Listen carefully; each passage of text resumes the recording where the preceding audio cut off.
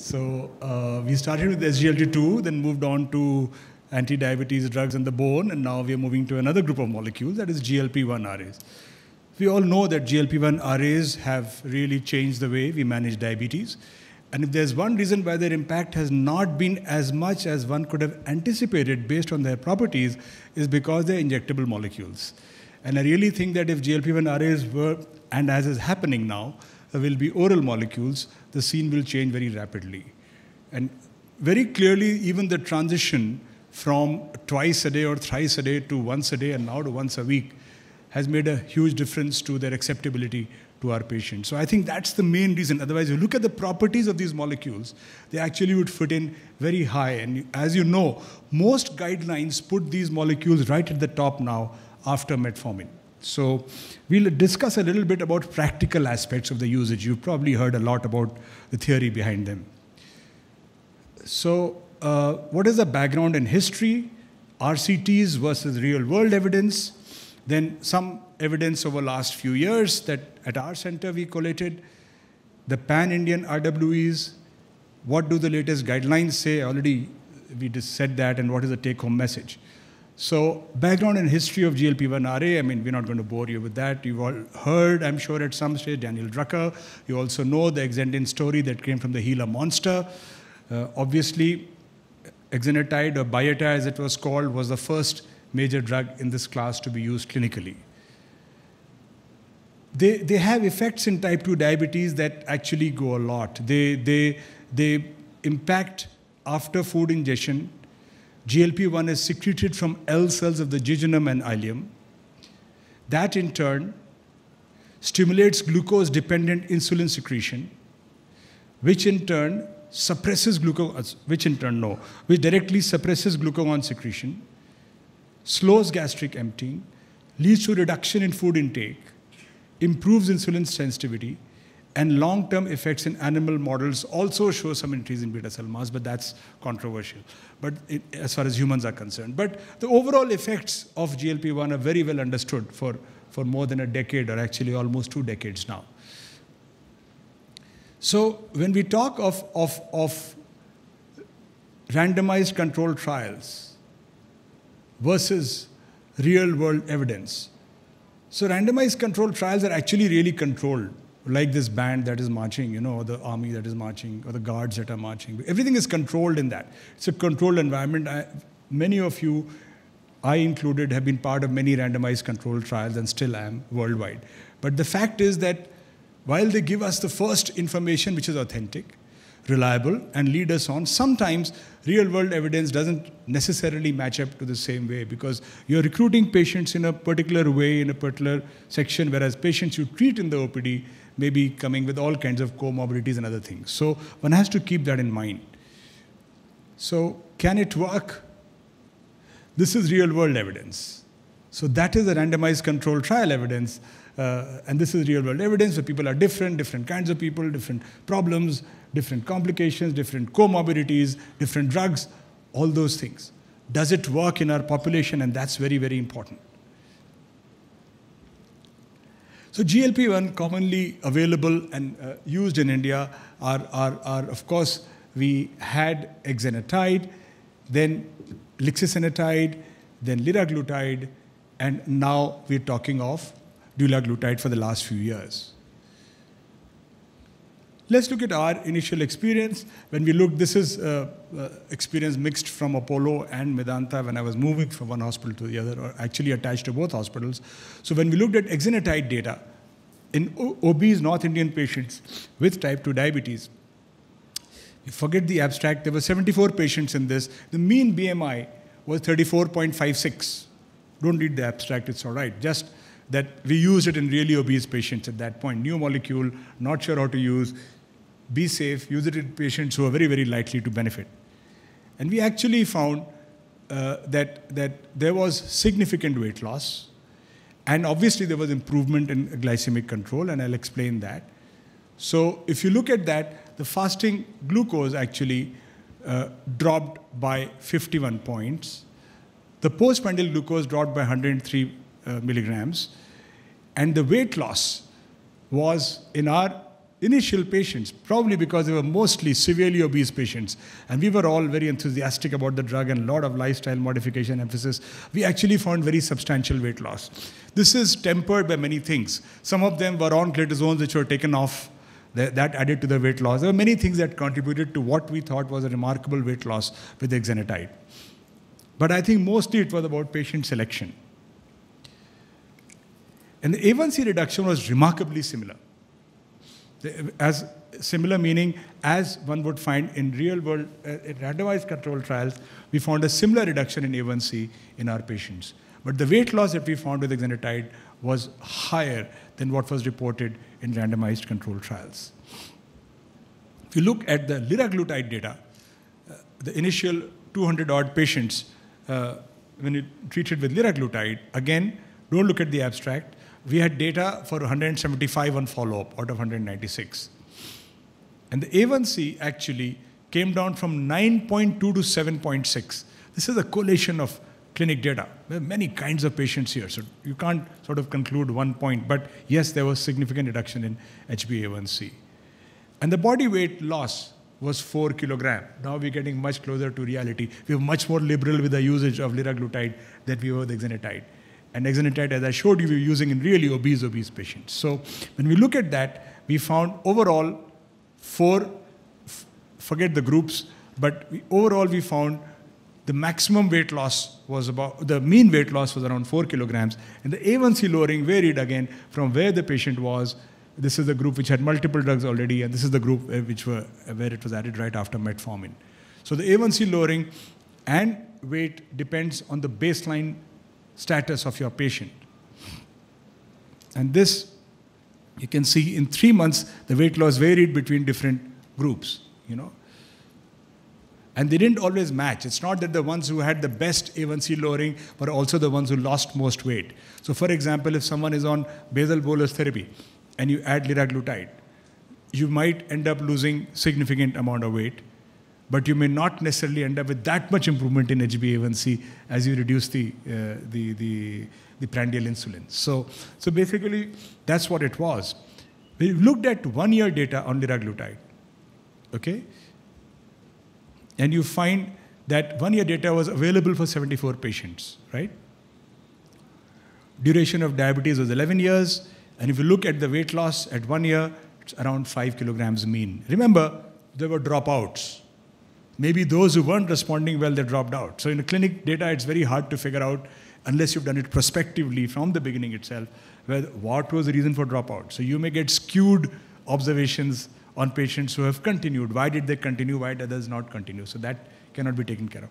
But the fact is, yes, that we did find significant weight loss at the end of one year to the tune of roughly 5 kilograms. So 4 to 5 kilograms is our mean weight loss that we found with liraglutide. The A1C lowering was significant in all groups. The A1C lowering was uh, the higher the baseline A1C, the more the lowering in HbA1c. Uh, that was obvious that we would find. The same thing applies to weight. The higher the baseline weight, the more weight loss you get. I think that's important. So if you look at the A1C reduction, you saw that with exenatide, it was again around 1.6, and similarly with liraglutide, again, it's around 1.5 in our real world data. So it's incredibly, uh, it's completely clear how much the real world data and the, and, and the randomized control trial match in lowering of A1C. This is completely random. So, you know, we were impressed to find that our lowering in real world trials of the HbA1c was almost similar to what was reported in these large, well designed, randomized clinical trials. What about dulaglutide? So, this is uh, our recent data, and we published them all in the same journal with a specific purpose. That is the Indian Journal of Endocrinology and Metabolism, so that is read by our Indian colleagues. Data is relevant only for India, basically. You know, that's the idea. So if you look at six months real world experience with dulaglutide, you actually find that there is a total of 117 patients and we got proper follow-up on 74. This time we were more careful. So all the ones who were dropped out, we have exact reasons for dropout because we kept track of everyone we were prescribing the molecule. So the lowering of A1C was 0.87 in six months. And the mean weight loss was again 3.8 kilograms. So pretty much tallying with what was seen in randomized clinical trials. Our use of, of liraglutide or dulaglutide is more liberal than, much more liberal than we were with exenatide. But the reasons cited for not starting or discontinuing therapy is also important. So out of 117, 74 we have data for six months, so 43. So 19% patients discontinued because of GI side effects. 16% just didn't want to start new medication, didn't want to change. Fear of, I suspect some of it may be cost related, but you know, whatever. But when asked, this is what we found fear of long term side effects, new medication, cost of treatment admitted by the patient as the reason was in five patients or 11%. Lethargy, some people felt they were not responding, 1% person felt, and they said, I, I, I travel so much. This is despite extensive counseling Still, some patients didn't even start medication.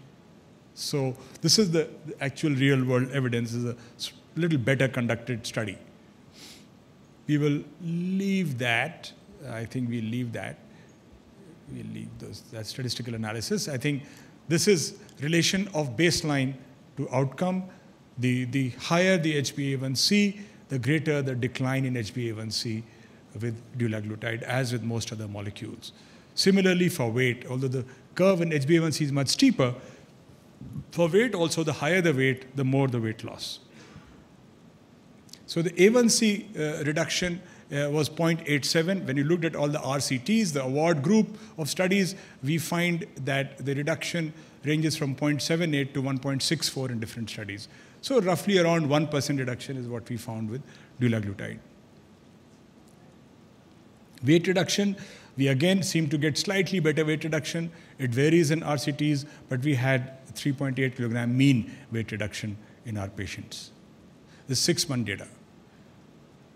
So, a real world experience is aligned to systematic data of randomized clinical trials, pretty much on similar lines in terms of A1C lowering and in terms of, of uh, weight reduction too. So, I think the important part here for us to remember is why are we presenting this data? That it shows that through the spectrum of GLP-1 RAs, they seem to work as well in our patients as they do in predominantly Western populations, number one. Number two, they, they, they work, the, the, the degree of A1C lowering and weight loss is somewhat similar, although weight loss is slightly higher in our group. That may be because of selection of patients. So both the fact that the randomized control trial data and the real world evidence tallies number one. Number two, the fact that it tallies in Indian population. So there is no reason to rediscover the wheel or reinvent the wheel. Basically, if you're going to follow this, you're going to be pretty, you have to just follow more or less Western guidelines for using these drugs because there does not seem to be that much difference. Then there are also real world evidence collected from other centers within India. And you know, total 10 centers, 738 patients. This is uh, collected by, by, by the company uh, industry, not by me personally, but quite clearly there is A1C reduction from baseline, which varies. And the, I'm very happy that there is at least an attempt to get genuine real world evidence from our country. It is easier with molecules like dulaglutide, where the patients can be numbered and followed up easily. It is much harder with, with oral antidiabetics, where prescriptions are all over the place. But nevertheless, 10 centers have made an effort to get some data on dulaglutide. And if we all pool efforts and plan a real world evidence study properly on newer molecules, and more and more new molecules are coming in, we can really get data. My challenge in that has been that we do our own thing, everyone does their own thing, own criteria for recruitment, own criteria for treatment, and we all think that what we are seeing is the world. It's like sometimes the blind men of Hindustan and the elephant. So we think that this is what it is, but actually others may have different experience. And the differences, the reasons for that have to be sorted out. So I think for newer molecules, if we could set up a system by which we, multiple centers who are big users, get together and just collate the data in a pre-specified proforma properly, that itself is good enough. And otherwise, the quality of real-world evidence that comes from India is not that great. And the reason is we try to do it always retrospectively, and instead of planning it beforehand. And multiple centers then get together, we can really give, you know, solid contributions, make solid contributions to world literature and to our clinical practice. Again, weight loss variations are huge between different centers, but nevertheless, you know, people as low as 1.53 kilograms to about 6.5 kilograms. So the, the, important message from me in this is that there is there are people, all of you, some of you, who are actually making an effort to get real world evidence. We should really get together in this and do something solid which will help all our patients. And nothing much is required. Just proper documentation and, and proper, uh, you know, in a uniform format and proper patient selection, that's all. So obviously, with all this happening, this is just evidence that to tell you, as I said, that in India these drugs work, and these drugs work as well in real-world situations as you read in the in the major clinical trials. But also, again, to emphasize, you don't have to go through this. You're very well aware. But the point of emphasis is that GLP-1 RA and SGLT2 inhibitors are actually moved right up the ladder in our choices for for, for uh, drugs after metformin. And the reason why GLP-1 RAs in our hands, we have found them to be very useful, and we use them a fair bit, is really because A, they lower blood glucose effectively, they are effective drugs. B, they don't cause hypoglycemia on their own. Hypoglycemia only happens when they're used with insulin or sulfonylureas. When used with metformin or other drugs, they don't cause hypoglycemia. Thirdly, they promote weight loss, which for me is a huge, huge advantage. Most of the patients I see are either overweight or obese. So, given these factors, and now the evidence that you may actually, so therefore, those who have who have these characteristics, you've seen these slides, it's very boring. So, you, so those patients who fulfill these criteria are very important candidates. And to add to that, you actually have now evidence of cardiovascular protection something we are not talking about this because we were asked to talk on real world evidence here. But the fact is that cardiovascular uh, risk is high in diabetes. Atherosclerotic cardiovascular risk in the LEADER study has clearly been shown to be reduced with liraglutide. It's clean data. Companies have not jumped onto it. I don't know why it's whether it's injectable. That's why SGLT2 with similar data has really, really taken away the field. Uh, no one talks of GLP-1 and cardiovascular protection. Everyone talks of SGLT2 and cardiovascular. But the data and leader is very impressive. And, and, the, and the top line data, which, which is not released yet, but just a press release from Eli Lilly for dulaglutide is equally impressive. So there will be clearly cardiac benefits that will ensue with the use of at least liraglutide and dulaglutide. Not, not the same for, for, for lixisenatide and others. But for these two, I think there will definitely, there is evidence for one, and there is top line evidence uh, on the other that these will reduce coronary events, and you know the details will we'll realize as the studies come out. So I think they're cardiac friendly too. So if they help us to lose weight, they don't produce hypoglycemia.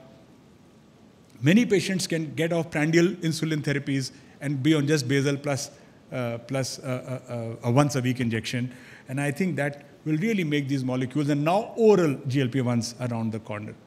So I think as orals arrive and as we get more used to weekly injections, we will get more and more usage of these new molecules.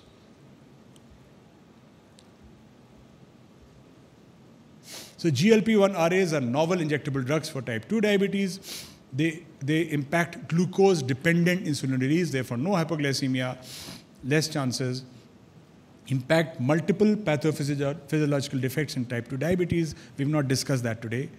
Effective and durable control of blood glucose through numerous randomized clinical trials. Significant weight reduction. Our real world evidence of efficacy, durability, and safety are well aligned to randomized control trials may have a greater effect of weight reduction. That's what we are finding, but we don't know whether it's just our patient selection or whether our population is, is, is sort of losing a little bit more weight. And therefore, naturally, they're promoted higher up in the hierarchy. So I think the only factor that keeps them away is, is, is the fact that they are injectable. And the other factor, of course, is the cost. We're not talking about cost right now, but cost for all new molecules, cost becomes a significant issue. Thank you very much.